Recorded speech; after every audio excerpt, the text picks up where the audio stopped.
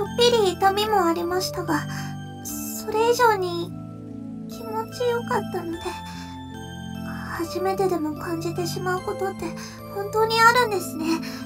あ、いえ、私がやらしいだけかもしれませんが。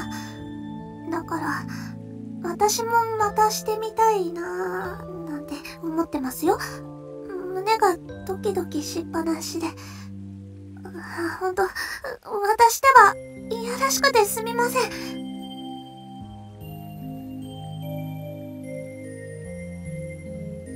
とはいえ、外はさすがに気になります。ですから、二人きりになれる夜に、また改めて、ではダメですか？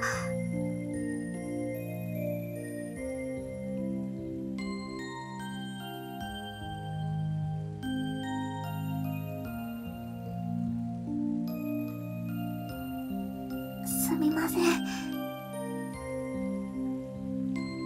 はい。興味はありますが、やっぱり外はもう少し慣れてからでお願いします。